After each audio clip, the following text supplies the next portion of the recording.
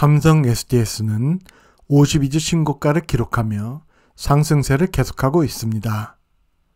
삼성 SDS는 자체 생성형 AI 서비스 개발과 클라우드 성장이 주가 모멘텀으로 작용하고 있습니다.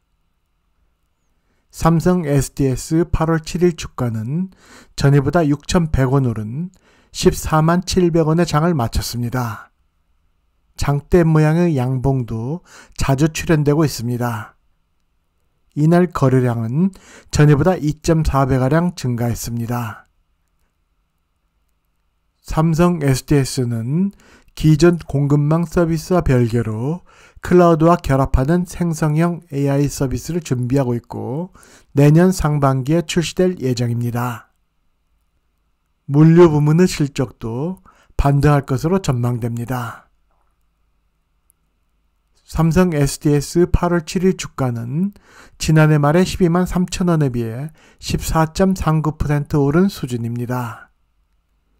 같은 기간 코스피 지수가 15.40% 상승한 데 비하면 코스피 상승폭에 약간 미치지 못하는 수준입니다.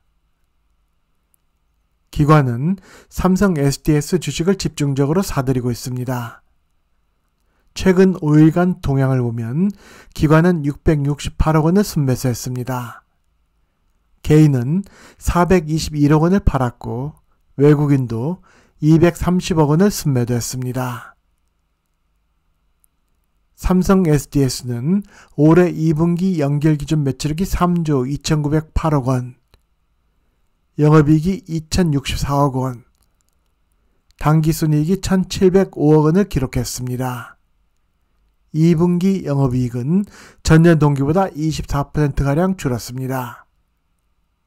삼성 SDS 최대 주주는 삼성전자로 지분 22.58%를 보유하고 있습니다. 삼성전자의 최대 주주는 삼성생명입니다. 삼성 SDS는 외국인의 비중이 16.1%, 소액주주 비중이 37%에 이릅니다. 글로벌 이코노믹은 스톡TV가 특허 출원한 BM 모델을 이용해 동영상을 제작하고 있습니다.